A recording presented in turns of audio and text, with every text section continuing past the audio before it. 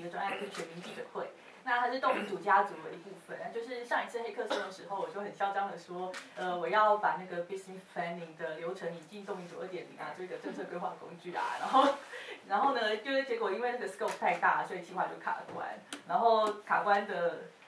期间呢，就是科比已经迅速把表决机制做出来，但是我的那个提提案的 UI 一直就卡关，然后，目前就只有做到。就是抄袭了 Facebook 跟 HiPad 的部分，然后就只有做了这个。然后呢，后来呢，就是呃两个礼拜前的小松，然后就发现，就有大家就有讨论一下，然后发现就是呃政策共比这件事情就是有点缓不济急，而且。就是使用的客群很小，技术门槛又高，然后所以就因为选举快到了嘛，然后又有一些呃什么呃神奇的人要参选啊，然后所以我们想说要做一些工具来帮助这些这些呃素人这样子，然后所以就决定要做全民记者会。那其实就是呃那时候呃在我们讨论要做全民记者会的当天呢，就是晚上就发现呃我等一下我的下一位例行呢他已经他们的公司已经做了一个一模一样的东西。然后本来那时候我们就是想说要口 work，但是就是他老板就不准他 open source，所以我们我就找自己开干这样子，然后就就只好想办法努力的超越他。那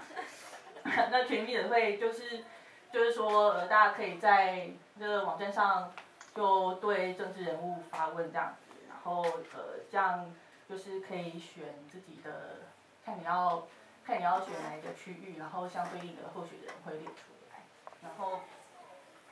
就是点进去它这个题目里面以后呢，就是可以，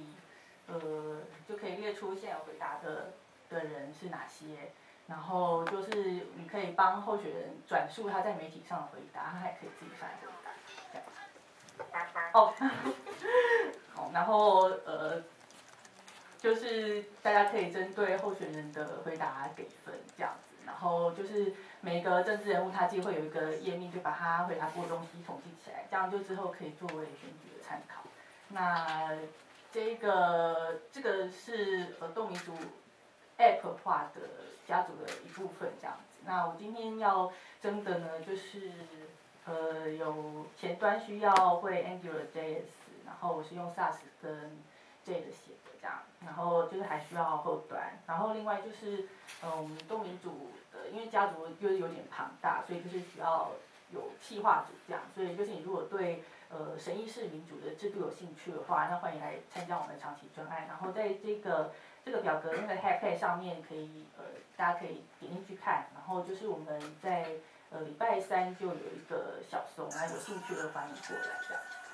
好，我就讲到这里。